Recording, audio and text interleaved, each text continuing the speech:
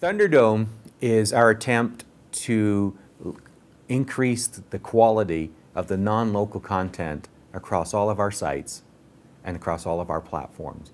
So if you just took the daily newspapers themselves and not the hundreds of weeklies and the hundreds of sites that we have, the 75 dailies themselves are each doing non-local content separately. We're repeating some things 75 times and perhaps not with the best of quality.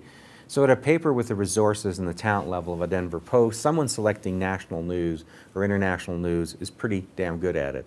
If you get to a smaller newspaper, I mean, you quite literally could have the person doing this who also has to put out the food page because it's Thursday. And they're not really conversant in both, and they're trying their very best to do it right. And so Thunderdome is going to try to take away a lot of that work so we can all concentrate on what we do best, which is local.